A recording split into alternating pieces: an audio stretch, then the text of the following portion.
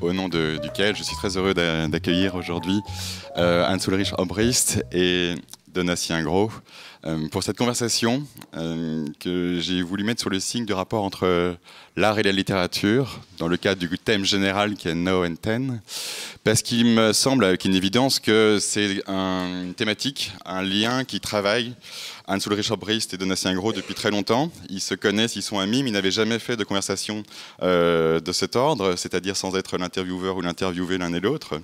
Euh, ils sont très amis, ils ont souvent collaboré ensemble. Euh, Donatien et moi travaillons par ailleurs souvent étroitement pour, pour la revue Pylone. Et donc aujourd'hui, je voulais essayer aujourd'hui de percer le, lien euh, fructueux, euh, fort ou euh, délétère qui peut exister entre l'art et la littérature, de voir comment il se dessine chez l'un et chez l'autre, car quelque part, vous vous occupez depuis des années d'art et de littérature, de leurs liens, de leurs zones de contact, sans être à proprement parler, mais on pourra en parler aussi tout à l'heure, artiste ou écrivain. Donc j'aurais voulu... Ça marche? Dans un premier temps, euh, que vous définissiez votre position par rapport à, ce lien, ce nouage entre art et littérature. Anne-Soulrich Chobrich, depuis le, depuis le début, vous avez investi la littérature dans, dans l'art, avec le musée euh, Robert Walser, avec la maison Garcia Lorca. Donatien Gros, vous avez écrit sur Sainte-Beuve, mais aussi un livre qui s'appelle The of Creation, qui, euh, aborde cette question-là principalement. Et par ailleurs, vous êtes aussi un artisan de rencontres entre, euh, écrivains et artistes, récemment encore à Della de Semet avec Hélène Sixou pour un livre chez Galilée. Donc j'ai voulu que l'un et l'autre, en guise d'introduction, vous, voilà, vous définissiez, vous tâchiez en quelques mots de me, dire ce qui, fait le, la substance de votre rapport à ce nœud littérature et art. Vous commencez, Anne Solrich oui, tout d'abord, merci pour cette invitation et bonjour à, tous et à toutes. C'est euh, en fait un thème que je considère absolument central dans, dans, mon activité depuis le début, parce que je pense qu'en fait, je suis de Zurich, non je suis né en mai 68 à Zurich, et c'est la ville de Dada. Non et en fait, si on regarde toutes les avant-gardes historiques du XXe siècle, il y a toujours ce lien entre, entre art et, littérature. Il y a ça euh, dans le surréalisme très fort. Il y a ça évidemment, ou souvent, par exemple, euh, euh, j'ai passé beaucoup de temps avec Leonora Carrington. On peut dire que Leonora Carrington était autant poète, et écrivain qu'elle était artiste plasticienne. Et en même temps, évidemment, on retrouve ça dans les néo-avant-garde des années 60, en Fluxus.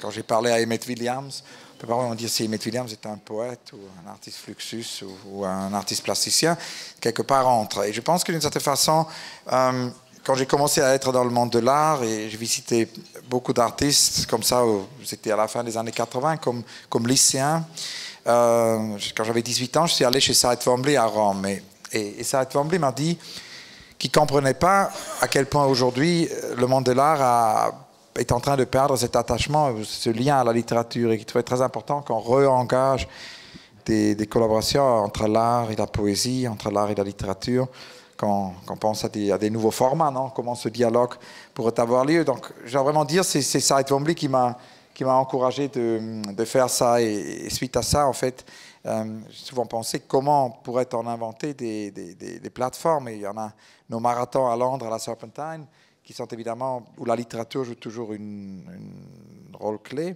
Mais après, ça peut aussi entrer dans le format de, l'exposition. Et pour moi, par exemple, l'exposition qu'on a fait à la maison Lorca à Granada, j'ai plusieurs années à Granada, euh, dans la maison de Federico Garcia Lorca, où on a essayé, justement, parce que Lorca est un très bon exemple pour ce lien, puisque cette amitié qu'il peut y avoir, ou qu'il y avait entre, entre son dialogue profond avec Dali et le dialogue profond avec le cinéaste Buñuel. C'était un triangle, on peut dire un triangle magique entre Buñuel, Dali et Lorca qui a commencé très tôt dans les années 20 dans la résidence des Estudiantes à Madrid. Et on a essayé d'extrapoler ça, en fait, d'extrapoler cette sorte d'avant-garde surréaliste qu'il y avait en Espagne de cette génération de 27 dans l'exposition Evo Still, Siempre Todavía, un titre euh, Evo Still de Douglas Gordon, où on a réuni d'une certaine façon des artistes et des poètes euh, à, Granada, dans la maison Lorca. Et, ce, qui, est peut-être important, c'est que ça, peut déclencher des choses qui vont bien au-delà de l'exposition. Pour vous donner un exemple, euh, les artistes sont venus à Granada, ils ont passé du temps avec les écrivains. Et entre autres, une des choses qu'on a organisées, c'est la première rencontre entre Enrique Villamatas, le grand écrivain de Barcelone, et, Dominique González Fersa, la grande artiste de Paris. Et Dominique a été passionné par, par l'œuvre de Villamatas, le lien à Robert Walzer, et c'est peut-être ça, pour moi, le commencement du, dialogue entre art et littérature. C'est Robert Walzer, puisque euh, j'ai passé mon enfance en fait dans, l'est de la Suisse, et c'est là où, où, évidemment Robert Walzer a fait ses fameuses promenades Carl Selig en donne témoignage dans son magnifique ouvrage euh, Promenade avec Robert Walzer. Je ne sais pas s'il a jamais été traduit en français, mais c'est un, magnifique livre où, c'est ces dernières années de Robert Walzer où il s'est mis dans un exil intérieur après un exil extérieur à Berlin, où il était notamment avec son frère Karl Walzer, qui était à l'époque beaucoup plus connu que lui. C'était un artiste plasticien euh, Karl Walzer a illustré tous les premiers livres euh, de, Robert. Après son exil fictif à Paris, gazette parisienne, euh, c'est un peu comme Cornell. Walzer n'est jamais vraiment allé à Paris, mais il s'est imaginé cet exil fictif euh, parisien. Suite à ça, il y a eu l'exil intérieur à côté de Hirisa, quand il était à cette clinique, et il, est allé sur ces fameuses promenades. Et donc, quand j'étais étudiant, je me suis dit, il faudrait euh, parler de ce dialogue art et littérature et Robert Walzer. Je me suis rendu compte qu'il n'y avait pas un musée Robert Walzer. Entre-temps, il y en a un à Bienne, mais à cette époque-là, il n'y en avait pas. Donc, on a trouvé le restaurant où Robert Walzer a toujours euh, séjourné. En fait, il a, il a arrêté pendant ses promenades pour boire un verre. C'était l'hôtel La Couronne à, Geis, à côté de Appenzell. C'est très intéressant parce que c'est aujourd'hui le village où habite Albert Eulen. De tous les, les, endroits dans le monde, Albert Eulen a décidé que c'est la ville où il peint. Donc, avec son tableau, un tableau de De Kooning qu'il a accroché dans son studio, inspiré euh, par De Kooning, Eulen peint à Geis Appenzell. Mais Robert Walzer, des décennies avant, a arrêté pendant ses promenades. Donc, on a, fait installé un musée dédié à Robert Walzer dans ce restaurant. L'activité du restaurant a continué, mais on a installé une vitrine et entre autres, la première exposition de Dominique González Förster en Suisse a eu lieu dans cette vitrine. Et c'était assez magique puisque c'était le mois d'avril. Et bizarrement, il commençait à neiger le jour du, vernissage, ce qui est assez inhabituel colline pré-alpine suisse. Évidemment, comme vous savez, Robert Walzer est mort sur sa fameuse dernière promenade euh, dans la neige. Dominique a fait euh, cet hommage à lui. Et euh, il y a eu un étrange monsieur qui est arrivé au vernissage qui a dit qu'il était le petit-fils de Robert Walzer n'a jamais eu des enfants, donc ce n'était pas vraiment probable, mais c'était un autre Robert Walzer qui a inventé le ballpoint pen. Et, euh, et, Dominique, suite à ça, a eu le lien à Enrique Villamatas, qui a écrit beaucoup sur Robert Walzer. Et donc, quand ils se sont rencontrés à Granada, tout ce que j'ai fait, c'est que je les ai rassemblés dans cette expo. Mais ce que ça a déclenché allait beaucoup au-delà de l'exposition, puisqu'en fait, euh, après, euh, Enrique Villamatas était très inspiré par l'installation de Dominique González Förster à Londres, et il a même décidé maintenant de faire un roman où Dominique González Forza, c'est un nouveau roman qui n'est pas encore traduit, il vient de sortir en espagnol. Euh, Dominique, c'est vraiment un roman sur Dominique. Donc, d'une certaine façon, c'est pour moi ce dialogue quelque part entre Dominique et Enrique Villeta, c'est un exemple à quoi ça peut mener si on réunit art et, littérature. Donatien, c'est aussi ce genre de filiation après de, qui peut exister, qui vous passionne et vous intéresse? Moi, je suis, je suis très différent de, Hans Ulrich à bien des égards, ne serait-ce que parce que euh, Hans Ulrich est, tu es un, autodidacte génial. Moi, je suis un universitaire euh, laborieux. Donc, il euh, y, a une différence fondamentale au début. Je, vais dire plusieurs choses. D'abord, donc, étant un universitaire laborieux, je suis spécialiste d'histoire de la littérature. C'est ce que je fais, c'est ce que j'enseigne, c'est ce sur quoi je fais des recherches, c'est ce sur quoi j'ai écrit. Euh, mais un jour, même, si j'ai toujours eu euh, une passion pour, euh, pour l'art ancien, étant un bon historien de la littérature réactionnaire.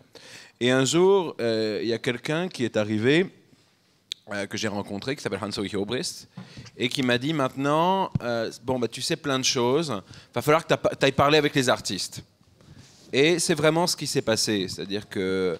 Euh, et, j'ai eu la chance, et j'ai la chance, de rencontrer euh, les artistes que, que j'admire. Et souvent, d'ailleurs, les, les, conversations qu'on a, on a beaucoup d'artistes en commun. D'ailleurs, de manière pas, pas forcément systématique. Quelqu'un comme Paul McCarthy, dont on est très proches tous les deux, euh, et quelqu'un qui est passionné par la littérature, qui écrit de la poésie. Et c'est vraiment devenu une sorte de catalyste de, mon entrée en, conversation avec les artistes. Mais je voudrais, au-delà de ce, moment d'autobiographie qui, n'intéresse personne, euh, je, voudrais juste dire deux ou trois choses sur euh, cette question du, de, l'art et de la littérature un peu en, point d'entrée sur ce qui m'intéresse. Parce qu'une chose dont Hans Ulrich, je pense, et, toi Gilles, allez beaucoup parler, c'est la poésie. Et je pense qu'il y a une chose qui est très intéressante, c'est que la poésie, c'est pas la littérature. Et donc, et la poésie, c'est une forme qui existe, la littérature, c'est une idéologie. C'est une idéologie, d'ailleurs Rancière a très bien écrit là-dessus, mais avant lui, il y a un modèle qui descend euh, à Madame de Staël, avec le, fameux livre qui ouvre le 19e siècle de la littérature. Et donc, ce sont des idéologies différentes, ce sont des idéologies, euh, parce que la poésie est, une sorte d'idéal classique, immémoriel, et quand la littérature est apparue au 19e siècle, euh, eh bien, la littérature est apparue en englobant, si on veut, la poésie. Euh, la, littérature étant un idéal politique, un idéal individuel, l'individu qui se relie à la communauté. La poésie, c'est l'individu qui se relie pas forcément à une communauté humaine, mais à une, transcendance. Et donc, ce qui est intéressant, quand on parle d'art et de littérature, euh, c'est de voir comment euh, ce rapport-là, il y, a deux couples, si vous voulez. Il y a un rapport art et littérature, il y a un rapport peinture et poésie. Euh, qui n'est pas le même. Il y a eu les grandes expositions de Bernard Blisten en, 97, je crois, à Marseille, euh, Poésure et Peinterie. Parce que peinture et poésie, euh, c'est un idéal qui remonte, si vous voulez, bah, aussi loin, qui remonte à la Grèce ancienne, qui remonte peut-être même à l'Égypte, qui remonte en tout cas à Rome. Donc, c'est une certaine forme d'idéal qui se répète avec des textes qui ensuite sont repris par, par des poètes ou, des, ou, des, ou l'inverse. Et ensuite, il y a un deuxième idéal qui est un idéal qui vous est cher à tous les deux, qui est l'idéal moderne, qui est un idéal euh, politique, je pense qu'on peut dire, euh, qui serait plutôt euh, l'idéal donc de, l'art et de la littérature, c'est-à-dire d'une sorte d'action qui est faite par le langage, qu'il soit visuel ou verbal, pour produire un effet en conversation euh, avec la communauté. Et je pense que c'est intéressant de voir aussi comment ces deux, je peux, détailler si vous voulez euh, ce, que, je suis en train de dire, mais c'est intéressant de voir comment ces deux euh, figures, ces deux modèles dialoguent l'un avec l'autre, ne se recouvrent pas forcément, et, de voir comment ça fonctionne. Voilà. Oui, bah, pour rebondir, c'est la question que je pourrais poser à Anne-Soulrich c'est que quand vous mentionnez le rapport poésie, littérature et art, vous faites référence aux avant-gardes, souvent du XXe siècle. Euh, on parlait de Villamatas tout à l'heure. Dans Impression de cassette, justement, il rigole un peu de cette posture aussi de l'avant-garde et il en fait un MacGuffin, comme il dit. C'est-à-dire quelque chose d'un peu absurde, mais qui conduit sur une piste qui n'était pas la bonne, mais qui dégage quand même des possibles.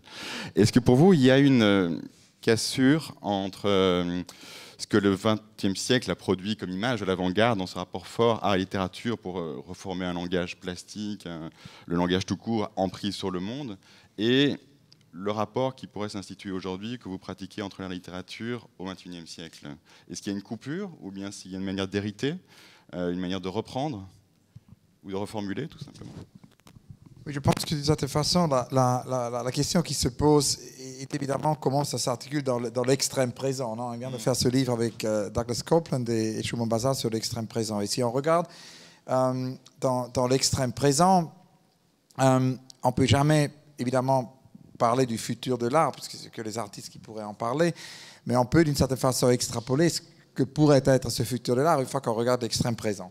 Et, c'est ce qu'on est en train de faire avec, euh, avec 89, euh, avec 89 plus. Et c'est, mm. d'une certaine façon un projet où avec Simon Castet, on fait une cartographie de tous ces, praticiens et praticiennes euh, nés après 89. Donc c'est la première génération, pour ainsi dire, qui a vraiment grandi avec Internet. Euh, et, voir en fait ce que, euh, euh, ce que ça produit comme œuvre, voir ce que ça produit comme art, ce que ça produit plutôt comme, comme pratique. On ne veut pas nommer ça comme une génération pour, pour ne pas voilà, limiter le champ. Donc Douglas Copeland en parle de la Diamond Generation puisque c'est transparent et en même temps sharp and transparent. mais ça, ce n'est qu'une première intuition, c'est à voir comment cette génération va, en fait euh, s'articuler. Mais une chose qui, nous a frappé beaucoup, et c'est pas nécessairement lié aux, avant-gardes du XXe siècle, c'est quelque chose qui est très différent, mais ce qui, ce qui est très, très, euh, et c'est même pas je répète pas des, des, des citations, c'est pas nécessairement des, c'est plutôt une transformation peut-être, c'est plutôt une logique de transformation qu'une logique de citation. Et, euh, dans cette logique de transformation, on peut observer que énormément de praticiens, si c'est Andrew Durbin, si c'est Harry Burke, si c'est Sophia Lefraga, si c'est Horoyan à Singapour, si c'est Sang Woo Lee en, Corée, euh, si c'est Steve Rogenbook aux États-Unis, si c'est Dina Yago, énormément de praticiens et praticiennes qu'on a, qu'on a découverts, non, faisant cette recherche. Et c'est une recherche où, euh, pour le moment, on a plus que 5000 dossiers sur, sur, cette, sur ça. Parce que ça se passe online tous les jours, tous les matins quand je me réveille, il y en a une autre dizaine voilà, qui arrivent sur, sur l'ordinateur. Et en ayant vu ces 5000 dossiers, on peut observer clairement euh, nouvelle génération qui, qui connecte euh, énormément à, au contexte de, la poésie et qui, et qui forme une nouvelle forme de poésie qui s'articule beaucoup sur Internet, qui s'articule sur Twitter et tout ça. Et ça, ça a donné naissance à la première exposition 89 plus qui s'est fait à Zurich, euh, qui est euh, donc cette exposition inspirée par les années, par, par, par Moderna Musée, par cette exposition de, de, Hand qui était la poésie sera faite pour tous. Donc nous on a fait la poésie sera faite par tous. Et a collaboré avec Kenneth Goldsmith et, et, euh, et Ubu Webb. Et on a sorti premier euh, livre de tous ces... Parce qu'évidemment, tous ces, écrivains et poètes n'ont pas encore publié, puisque c'est le, début de... Ils ont 20, 22, 23 ans. Donc on a mis en, route un système d'édition, un système de publication, et il y a 1000 livres de, de 1000 écrivains et 1000 poètes qui sont publiés. Pour chacun d'eux, c'est leur premier livre. Mais pour rebondir encore, est-ce que j'ai l'impression que cette version de l'usage de, l'art et de la littérature ensemble avec ces nouvelles générations est très diplomatique. Elle habite un monde, elle le rend habitable, elle construit des mondes, elle fait circuler les gens à travers le monde, mais j'ai l'impression qu'elle est quand même radicalement différente du cadre moderniste ou avant-gardiste du XXe siècle qui était plutôt briser le monde ou le, ou le reconstruire différemment ou le, voilà, le, le mettre en rupture. Est-ce que c'est quelque chose que, qui est regrettable ou bien c'est quelque chose qui est travaillé, qui, dont il faut faire le, voilà, le deuil quelque part? Est-ce que cette vocation diplomatique de l'art est assumée pour, pour le demain? Oui, en fait, la, la question, je ne veux pas dominer ces conversations. Non, mais après, comme que, ça, je, je, je... que Donatien Rohan Euh, bon, bah, j'ai plein de choses à dire, donc euh, autant t'en fais pas. Ça, ça va. La première chose, c'est que je suis, euh, c'est mon côté. J'ai deux choses. D'abord, je veux juste répondre à, ce que tu disais à l'instant, Gilles, et puis après, et puis après repartir sur euh, sur Poetry will, be made by all euh, et l'idéal et l'idéal euh, trotskiste ou trotskien qui sous-tend sous ton, projet Hans Ulrich, sans que tu t'en rendes compte. la, première chose sur les sur les avant-gardes du du XXe siècle. Et là, en tant qu'historien, j'ai une vue profondément différente de la tienne, Gilles. Oui, je, oui. Vraiment très profondément différente. C'est-à-dire que, euh, moi, je, je, veux dire, quand on prend, euh, prenons euh, deux exemples, deux exemples, mettons trois, mettons deux. Une chose forte, belle, Apollinaire. Apollinaire. Apollinaire, aujourd'hui, quand on pense à Apollinaire, on pense le poète des avant-gardes. Poésie cubiste, les calligrammes, celui qui a défendu toute la génération. Mais si on lit Apollinaire, si on, lit vraiment Apollinaire, Apollinaire a écrit sur Chardin, Apollinaire a écrit sur l'art grec, Apollinaire était un classiciste, Apollinaire était quelqu'un qui avait des positions qui n'étaient pas du tout seulement, exclusivement tournées vers l'avenir pour briser, le, pour briser le monde. Et quand on prend quelqu'un comme, prenons un, exemple pour le coup beaucoup plus radical, prenons Tristan de Sarah. Tristan de Sarah, jusqu'en 1916-17, produit une poésie hyper romantique, hyper classique, très 19e. 1917-1923, mettons 22, période dada. Après, après, il retourne, il a la période de transition de, la, fin des années 20, et il fonde un institut d'études occitanes avec la Sorbonne.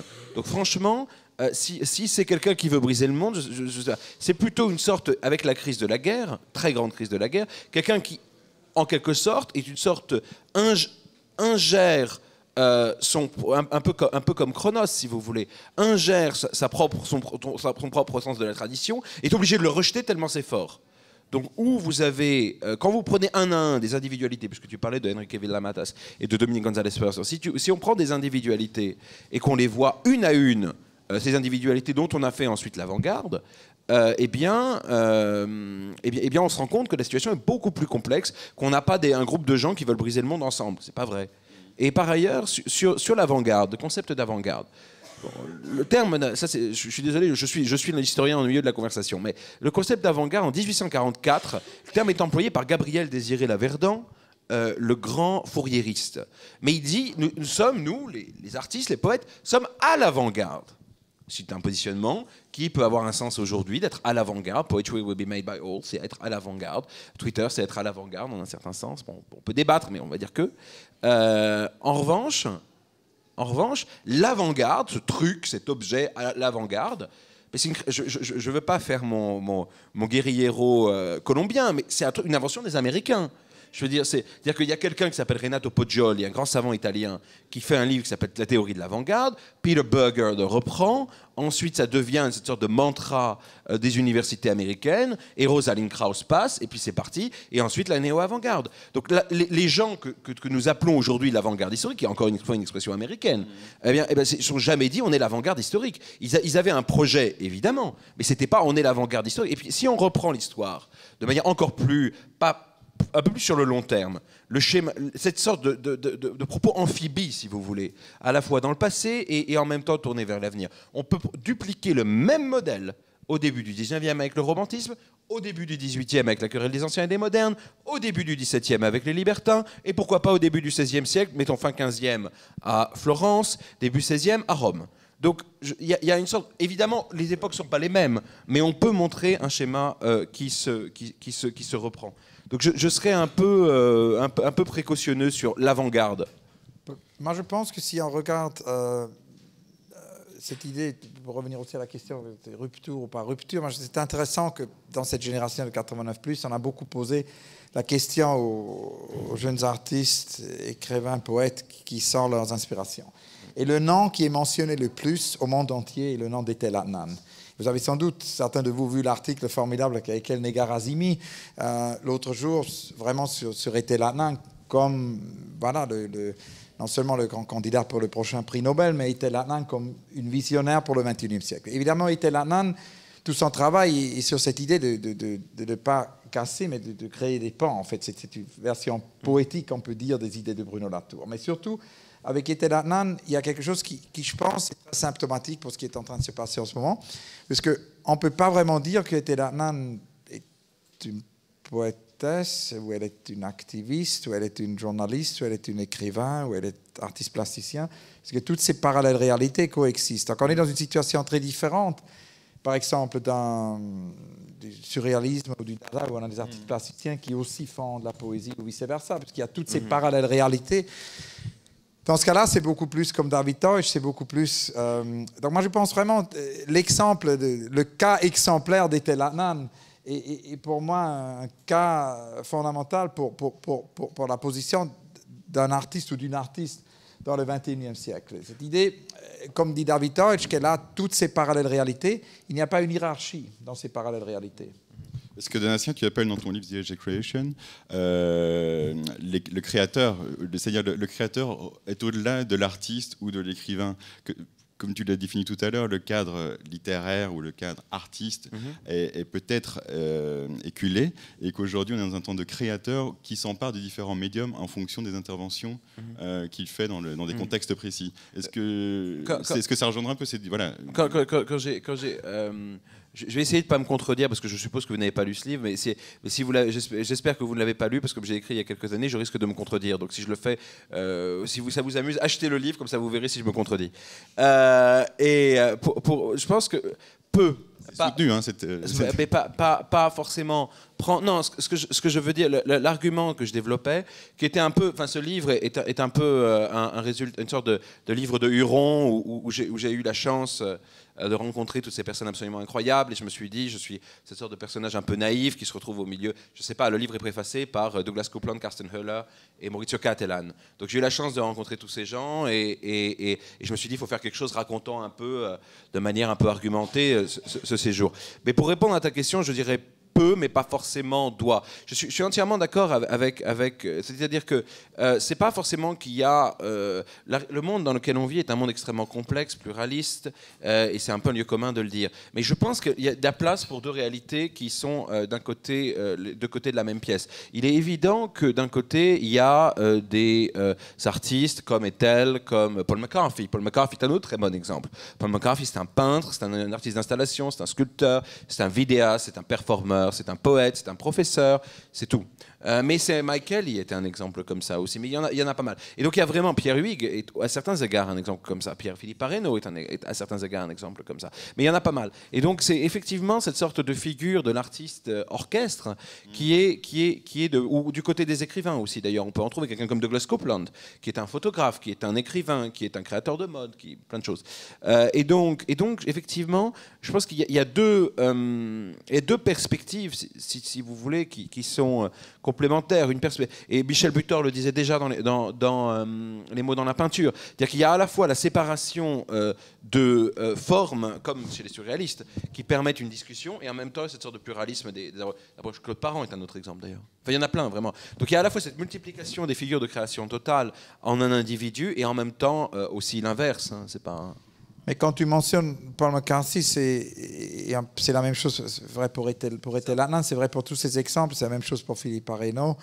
Euh, moi, je pense que cette idée du Gesamtkunstwerk euh, redevient important pour le 21e siècle. Et, Ça, c'est une reprise en tant que telle. et ça, c'est une, de- une reprise, mais c'est intéressant, moi, je pense, parce que, évidemment, Harald Seemann avait fait cette exposition en 84, 85 à Zurich.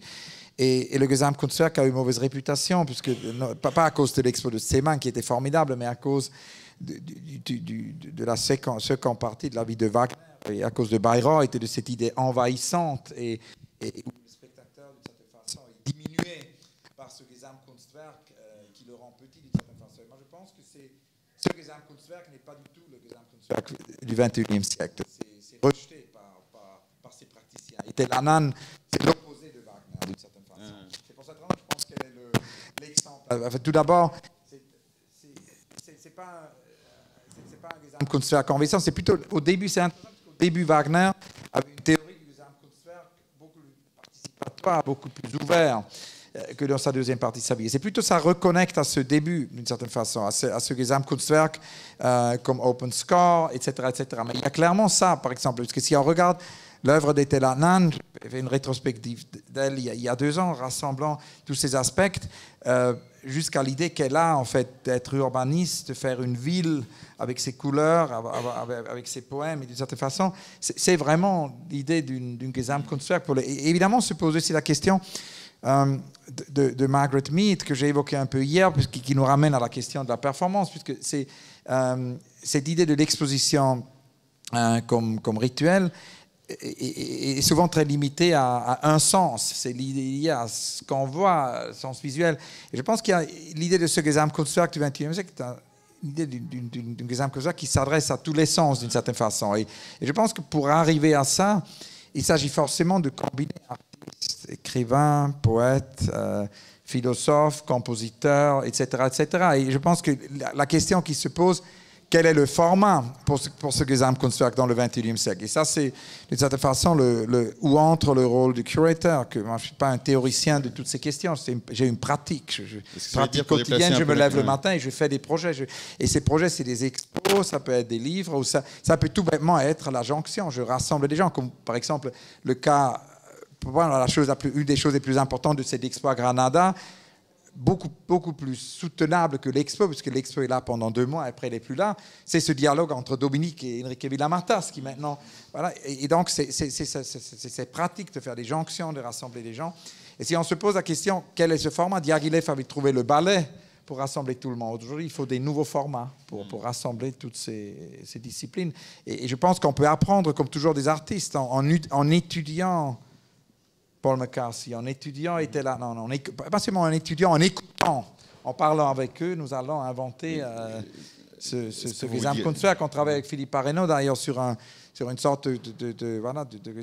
Ça avait commencé à la Serpentine quand il a fait son exposition avec la collaboration Serpentine qui, qui, qui commençait à l'extérieur, à l'intérieur, qui était une sorte de Gesamtkunstwerk avec tout le bâtiment. Et maintenant, on extrapole ça avec un projet qui aura lieu à l'Armory euh, où il y avait précédemment d'ailleurs Paul McCarthy. Et pour parler de, revenir à vos débuts, par exemple, est-ce que vous avez l'impression de pratiquer de la même manière cette mise ensemble de pièces au sein d'une œuvre plus globale? C'est-à-dire, il me semble que vous écrivez plus des textes vous-même aujourd'hui, vous dessinez aussi. Est-ce que la question de la création en tant que telle intervient dans votre réflexion et dans votre pratique? Est-ce qu'elle a évolué par rapport à vos débuts où vous étiez au service des artistes ou aujourd'hui peut-être avec Telponi Postino aussi, vous êtes plus un, comme Daguillef, un orchestrateur et une mais est-ce que la création est un enjeu du coup? Est-ce qu'il y a un devenir presque artiste euh, aujourd'hui pour vous? Non, non, moi j'ai une pratique quotidienne, c'est de, de, faire des expositions, c'est de faire des jonctions, c'est de, de, mettre ensemble des, des, pratiques et des praticiens. Et, si j'écris, euh, c'est pas c'est juste pour décrire ces processus, c'est pour les rendre accessibles. Moi, je pense que c'est pour faire des boîtes à outils et pour, pour, pour, pour voilà, pour transmettre ça. C'est toujours l'idée de la, la transmission. Je, rien n'a changé. Moi, j'ai jamais été artiste. J'ai une pratique. Euh, je, comme disait Félix Fénéan, je jette des passerelles d'une certaine façon. Je vois qu'on est tenu un horaire très strict avec le parcours. Donc, si euh, je pense qu'on doit encore présenter un projet qui est lié à la Belgique, donc je trouvais ça très intéressant qu'on puisse euh, l'évoquer rapidement en quelques minutes. Et puis, s'il nous reste quelques minutes encore, évidemment, de laisser la place à des questions et ne pas laisser que les miennes. Voilà, oui, parce que j'avais parlé de Dominique et Enrique Villamatas. Euh, et, Dominique, dans sa pratique d'artiste, elle a toujours eu une pratique d'écrivain, puisqu'elle était au début euh, euh, avant tout écrivain. Et je pense à un autre exemple, c'est Rem Koolhaas. Rem Koolhaas commence comme écrivain. Et, la littérature et l'écriture a toujours été au sein de son travail. Maintenant, même des décennies après tous ces visionnaires euh, projet et réalisation d'architecture, d'urbanisme, euh, le cœur, on peut dire, de la pratique reste l'idée de l'écriture. Donc, toutes les quelques années, avec REM, dans le dialogue qu'on a, on, essaie d'inventer des, livres. Et euh, je suis très ravi que Mathieu Wellner est là aujourd'hui, puisque c'est avec Mathieu et, REM qu'on va développer ce livre qui... Ah, il y a un problème. un problème technique. De toute façon, vous avez vu les images, qui est de Belgium Way. Et, et, et où, d'une certaine façon, c'est c'est vraiment l'idée de, l'écriture de, REM et après des recherches qu'on fait ensemble. On avait déjà fait ça avec le métabolisme, euh, on avait réalisé les, euh, on avait réalisé les interviews. Voilà, oui. Évidemment, les marathons sont une, une, un modèle pour comment un autre sorte de véhicule, non? Comment peut-on rassembler les disciplines? Et on a fait ce marathon de la poésie, euh, par exemple dans le pavillon de, Sana, de, de Sejima, où un artiste euh, et de tout background, praticien de tout background, pendant 48 heures non-stop, on fait des lectures, des lectures de poésie, et de nouveau, d'où s'en est énormément de collaborations, énormément de livres et des choses que les artistes et, les poètes pourraient faire ensemble. Mais cette idée donc, du livre avec Rem, c'est le commencement euh, c'est le Belgium Way, c'est l'art perdu. Ça, c'est les dates euh, où on sera à Bruxelles pour donc avancer sur cette recherche.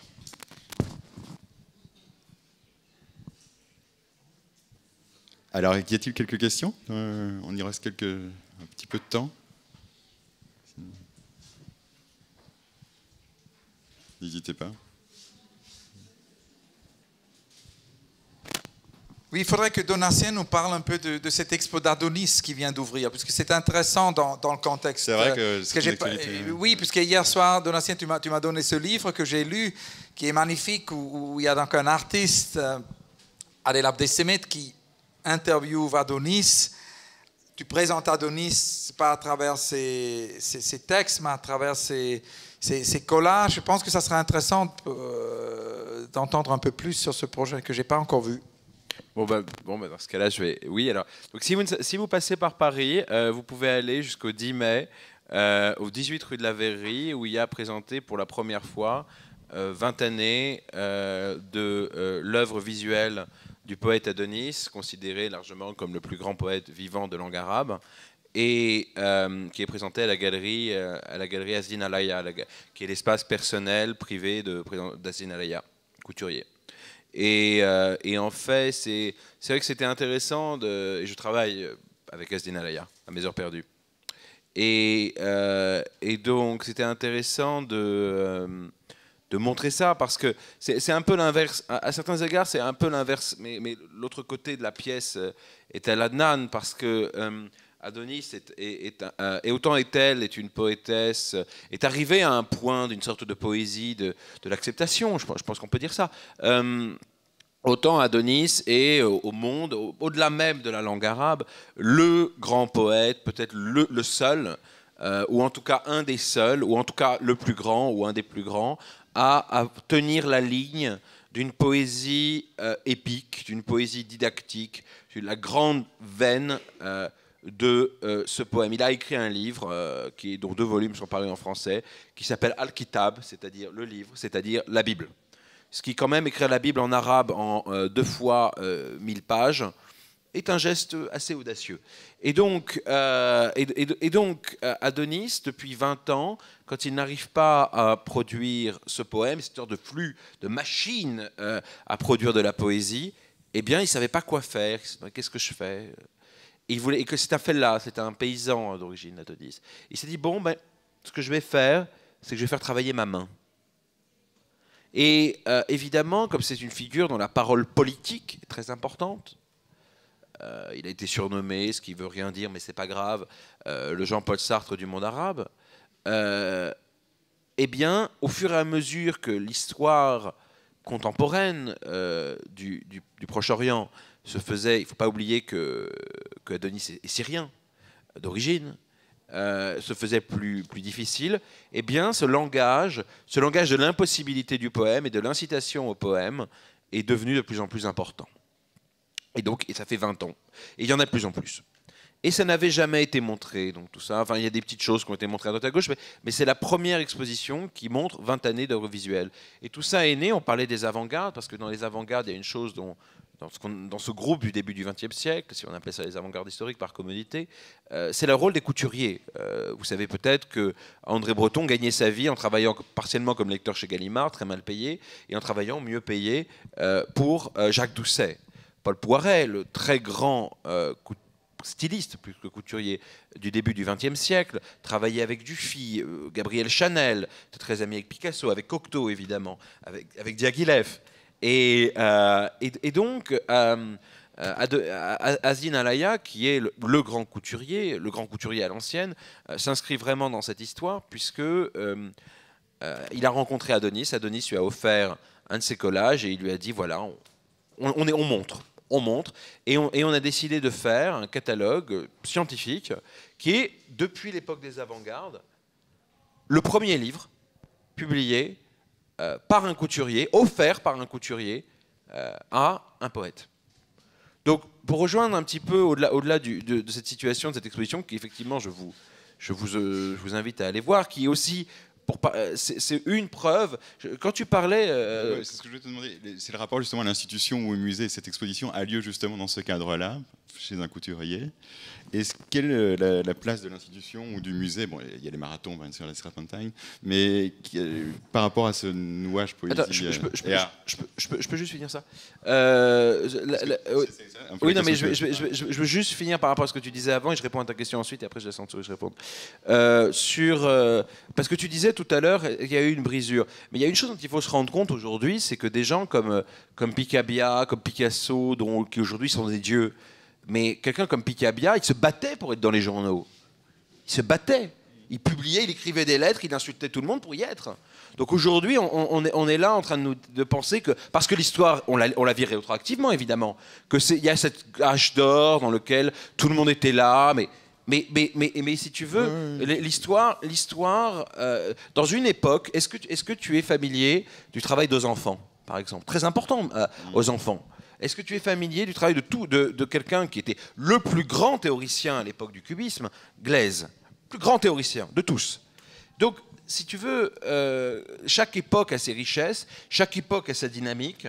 Euh, et, chaque époque a ses personnes qui se réunissent. Cette exposition avec Asdin Alaya, c'est la coalition des forces d'Emmanuel Coccia, le philosophe et poète italien, euh, d'Adèle Abdessemed, l'artiste, Asdin Alaya lui-même, d'Adonis, accessoirement de moi. Donc tous ces gens qui appartiennent à ce qu'on appelle la communauté créative, se sont mis ensemble pour faire quelque chose comme, comme il y a 100 ans, et comme j'espère dans 100 ans. Et pour répondre à ta question sur le musée, mais soyons précis sur le musée. La mission du musée, le musée a énormément changé ces dernières années. Le musée a connu une révolution entre le Louvre d'il y a 25 ans et le Louvre d'aujourd'hui. Ce n'est plus le même monde. Cependant, il est clair que la mission du musée est de conserver. Il faut quand même être précis, un musée, ça conserve. Euh, et donc, le musée n'est pas là pour euh, forcément favoriser ou développer ce genre de monde. Le, musée les récupère, et quand il les récupère, il les institutionnalise. Donc, se poser, se poser la question, Picasso ne, montrait pas au, Louvre, même s'il voulait montrer au Louvre, il ne montrait pas au Louvre quand il avait, quand il avait 30 ans. Donc je pense que si tu veux, la question du musée est une question, tous ces circuits-là, les circuits de Apollinaire, les circuits de Picabia, les circuits de Sarah, tous ces circuits dont, on a fait une sorte d'âge d'or magnifique, étaient des circuits parallèles. Ou Sef d'ailleurs. Quand Sef montre, enfin, montre, fin des années 60, une série d'expositions tournantes où il montre tout le monde, c'est un circuit parallèle. Et c'est normal.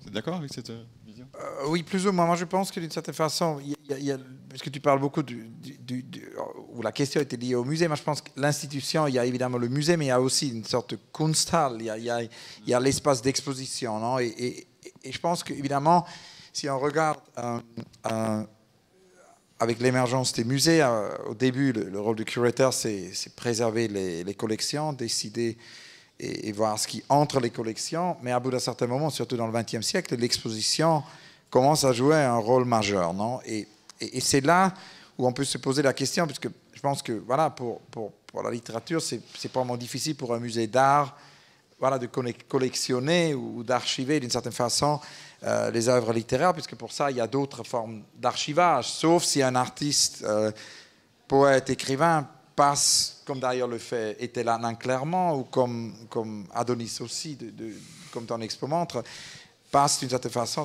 dans, ces, frontières et contribue d'une certaine façon aux arts plasticiens, à ce moment-là, l'œuvre peut entrer ses archives aussi. Mais évidemment, où, toutes ces, disciplines peuvent se rencontrer, c'est l'exposition. L'exposition est un format extrêmement libre. C'est un, il faut vraiment euh, lire le livre de Dorothea von Hantelmann, dont la sortie est imminente, qu'elle a écrit dans notre pavillon suisse à Venise. On, a, invité Dorothea von Hantelmann d'écrire ce livre en public, de présenter tous les jours des vignettes. Et c'est un livre sur l'exposition comme rituel. Et, je pense que c'est ce livre-là qui, vraiment nous montre à quelle mesure l'exposition peut être un point de rencontre. Et ce n'est pas par hasard que, par exemple, quand j'ai invité Agnès Varda euh, il y a, a 10-15 ans pour Utopia Station, Agnès Varda n'avait jamais participé à une expo d'art. Elle a passé, comme vous savez tous, sa vie comme mythique, légendaire, extraordinaire cinéaste, en ayant eu tous les grands prix de cinéma du monde entier, en ayant montré dans tous les, dans tous les festivals de cinéma. Et soudainement, on se retrouve avec une invitation de moi et de Rikrit et de Molly d'exposer dans Utopia Station.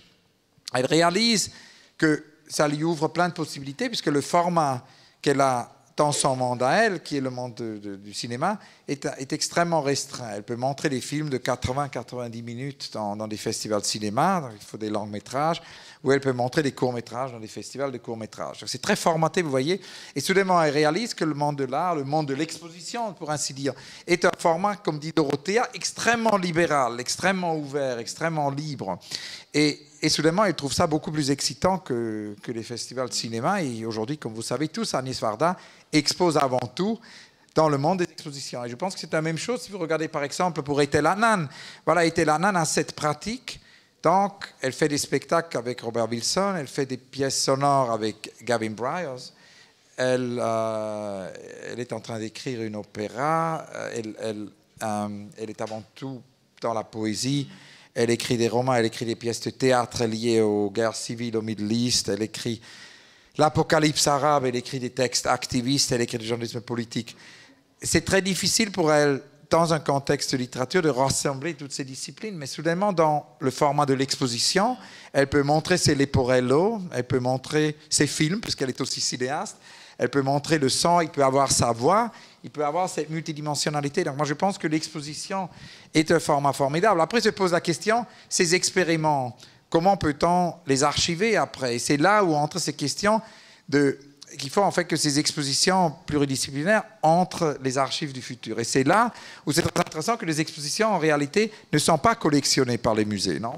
Et, euh, Et voilà, donc il faut se poser la question comment peut-on collectionner pour le futur? Parce que si vous regardez par exemple par rapport à art et, littérature, art, et poésie, il y a très peu d'expositions. Moi, j'en ai mentionné une qui est celle de Ronald Hunt de la fin des années 60 au Moderna Museet de Ponte à Stockholm. La poésie sera faite pour tous, euh, par tous euh, et toutes. Et c'est cette exposition-là qu'on a appropriée, ou plutôt que appropriée, transformée pour notre projet 89+. Et après Donatien nous a mentionné l'exposition La poésie et peinture, qui est l'expo que j'ai vue d'ailleurs euh, il y a une vingtaine d'années à Marseille, magnifique exposition de Bernard Blistel. Mais ces exemples sont très rares, il y en a peut-être 4-5 en plus. Et, euh, et c'est évidemment important d'en faire plus de ce type d'exposition, puisque je pense qu'on on est à un moment, vous avez toute cette génération euh, de 89 plus qui connecte à ça. Vous avez énormément d'artistes de précédentes générations. On en a eu deux exemples ce matin avec mon exemple avec Etelatnan. Et c'est pour ça que je pense que c'est très important que, Donatien nous raconte Adonis, puisque c'est un, exemple complètement différent, mais lié à ça. Et donc, ça pose ces questions. Comment peut-on avoir plus d'expositions monographiques Moi, j'ai fait la monographie d'Etelatnan où j'ai essayé de rassembler. Donatien a fait cette monographie d'Adonis euh, qui est en cours mais aussi d'expositions de groupe. Comment pouvons-nous imaginer plus d'expositions qui, qui créent ces interfaces, qui créent ces, pas des interfaces, ces intersections d'une certaine façon? je, suis assez, je suis assez d'accord parce que une chose que j'aurais voulu dire avant, c'est que on, on, vit dans une époque où il y a énormément, énormément, énormément d'écrivains qui font de l'art et d'artistes qui écrivent. C'est une chose au-delà même de l'exemple des, exemples d'Ethel ou de McCarthy ou d'Adonis. Euh, enfin, la liste est, absolument incroyable. Euh, Tom McCarthy, euh, Teju Cole, le grand romancier euh, nigériano-américain, Boris Groys, Camille de Toledo, Jean-Philippe Toussaint qui a une exposition au Louvre, John Berger, hmm. et, même jusqu'à Milan Kundera qui dessine. Magnifique dessin de Milan et, euh, et, de l'autre côté, euh, le nombre, moi, une chose, une chose qui m'a fasciné en allant, j'étais récemment à Los Angeles, tous les artistes, quasiment tous les artistes de toutes les générations écrivent de la poésie. Et ça m'a fasciné parce qu'un artiste qui est un artiste qui a une exposition bientôt à Bruxelles à la fin du mois d'avril, il s'appelle Sterling Ruby.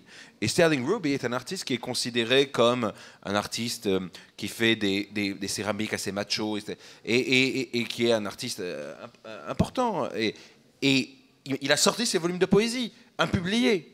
Donc, donc, c'est-à-dire que cette, cette dynamique-là, ce devenir visuel euh, des écrivains, et, euh, qui marchent ou marchent pas d'ailleurs, hein, mm-hmm. ça, c'est un autre sujet, et ce devenir poème euh, ou texte ou roman dans le cas de ou pièce de théâtre. L'an passé au Festival d'Avignon, il y avait magnifique pièce de théâtre d'Alexandre Singh, pièce de théâtre écrite comme une pièce de théâtre. Eh bien, si on regarde Jeff Guys, dans la pratique de Jeff Guys avec ses extraordinaires écrits, avec ses extraordinaires listes ou euh, un autre exemple d'un artiste belge, qui est aussi un très grand écrivain d'une certaine façon. Et je pense euh, il y, a vraiment énormément d'exemples. Cette liste ancienne que tu commences, on pourrait continuer ça pendant des heures. Il y a John Giorno, euh, qui, qui euh, Ugo Rondinone d'ailleurs vient de faire une exposition magnifique à la sécession de Vienne, qui, qui explore ce lien entre art, art, et poésie de nouveau d'un autre mmh, angle. Mmh. Donc c'est vrai qu'il y a que c'est vrai pour les deux côtés. C'est qu'il y a énormément, énormément euh, de passages qui vont dans les deux sens. Mmh. Par exemple, avec, Alain Robbe-Grier, j'ai passé beaucoup de temps avec. J'ai toujours eu des mentors dans d'autres disciplines. Parce que si je suis dans le monde de l'art et, finalement, euh, quand on entre après dans ces autres disciplines, on a besoin de guides et de mentors. Non? Et, euh, pour moi, dans la littérature, mon premier mentor était Nathalie Sarraute. Elle était ma voisine à Paris quand j'ai travaillé au musée de la ville de Paris dans le 16e, puisqu'elle vivait juste à côté du musée. Donc on s'est vu souvent pendant les après-midi et des après-midi. Elle m'a appris beaucoup sur la littérature. Euh, même avant Nathalie Sarraute, Pierre Klostowski était mon mentor. J'ai passé tous les mercredis après-midi chez lui. Il m'a raconté euh, euh, sur, ses idées, sur ses visions, sur ses, délires d'une certaine façon. C'était une autre forme de mentor. Après, un peu plus tard, c'était Alain Robbe-Grillet, mon mentor. Alain Robbe-Grillet, évidemment, a eu des liens extraordinaires avec, euh, avec tout d'abord avec la Belgique avec le surréalisme belge, parce qu'il a, il a refait d'ailleurs des œuvres, il a refait des œuvres de Magritte pour ses films, il en a fait des faux Magritte. Et, euh, et, Alain Robbe-Grier a collaboré avec Rauschenberg. Rauschenberg était obsédé par Alain Robbe-Grier, il a attendu, attendu son bateau arriver à New York. Et euh, donc on a, décidé, euh, il y a une dizaine d'années, puisque Robbe-Grier en avait marre. Et vous voyez, il y a aussi ça d'une certaine façon, quand on est, on est toujours dans le contexte dans lequel on est, à un certain moment, c'est très très libératoire qu'on est, ou libérant, libératoire, ça, libre, non? Liberating, quand on est invité dans un autre contexte. Et Rob Grier était, mortellement ennuyé d'être invité que à des festivals de littérature. Ça l'a ennuyé à mort, en plus, avant tout dans le monde francophone. Donc il m'a dit, euh, je vais faire chaque projet avec toi si tu m'invites pas dans le contexte de littérature et, et à l'étranger dehors de la France. Non? Et donc, euh, on a inventé plein de projets avec Alain Robbe-Grier. On l'a amené aux États-Unis euh, pour un hommage à Rauschenberg à Miami. Euh, j'ai invité Alain Robbe-Grier pour une semaine en Islande. Avec Olafur Eliasson, on a fait un projet en Islande où il a rencontré Matthew Barney, où il a rencontré Karsten Höller, qui était obsédé par Alain Robbe-Grier, où il a, rencontré plein, plein d'artistes plasticiens, Isaac Julian. Et, et, on a fait plein d'enregistrements avec Alain Robbe-Grier et les artistes. Euh, donc, par exemple, toute l'œuvre d'Alain Robbe-Crier, l'art d'une certaine façon est mmh, présent. Donc c'est vraiment une très grande histoire qui en grande partie n'est pas, est, pas d'une certaine façon écrite et qui, je pense, est fondamentale pour aujourd'hui et, qui va nous occuper dans les, dans les, années à venir de plus en plus. Bah voilà, on en a posé quelques linéaments et je propose qu'on reste sur ces quelques beaux exemples cités. Euh, nous devons euh, céder le, le micro. Euh, peut-être pourrons-nous continuer de manière informelle à discuter évidemment euh, entre nous par la suite. il me reste à vous remercier énormément, Donner Saint-Gros, Anne-Soleil Chambry d'être venu à Bruxelles pour passer à Porta ce week-end. Merci beaucoup.